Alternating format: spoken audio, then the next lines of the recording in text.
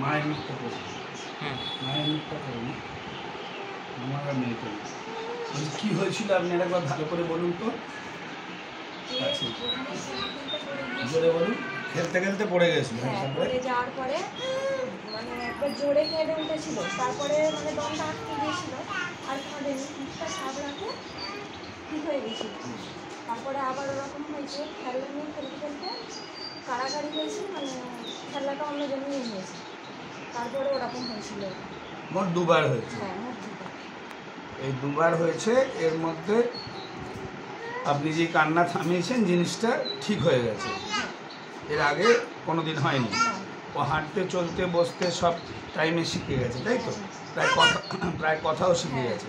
ও জন্মেছিল হসপিটালে জন্মাতে কোনো অসুবিধে হয়নি। নার্সারিতে সিজার হয়েছিল নার্সারিতে ছিল না কোনো প্রবলেম ছিল না। এই জিনিসটাকে বলা হয়, ভালো করে মন দিয়ে শুনুন ব্রেথ হোল্ডিং অ্যাটাক। ব্রেথ মানে নিঃশ্বাস, হোল্ড করা মানে আটকে যাওয়া, অ্যাটাক মানে ঘটনা।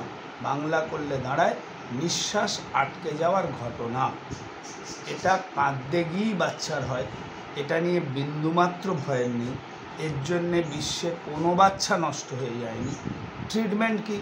খুব বিরক্তিকর। ট্রিটমেন্ট হচ্ছে কাঁদতে দেবেন না। ডাক্তার আপনার মাথা খারাপ নাকি? বাচ্চা তো কাঁদবেই পড়ে গেলে কাঁদবে জিনিস কেড়ে কাঁদবে। কাঁদবে হবেও কাঁদবে হবেও। কবে এই জিনিসটা যাবে? চার পাঁচ বছর বয়সে যখন ওর কান্নাটা নিজের বুঝতে পারবে, তখন এটা যাবে। ট্রিটমেন্ট হচ্ছে কাঁদতে দেবেন না। কাঁদে উঠে আটকে গেলে, ওই যে বললেন, জল চাপড়েছেন পিঠ চাপড়েছেন, কিছু করবেন না।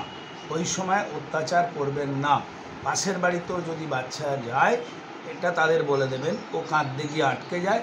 সেই সময় কেউ বলল, মুখে জল ঢেলে দাও। কেউ বলল খিমচি কাটো। কেউ বলল নাক টিপে ধরো কেউ বলল চোখ টিপে ধরো কেউ বলল, বুকের দুধ দিয়ে দাও। না না না, বলে তুলে নেবেন। দম ফেলবেই ফেলবে, দম ফেলবেই ফেলবে।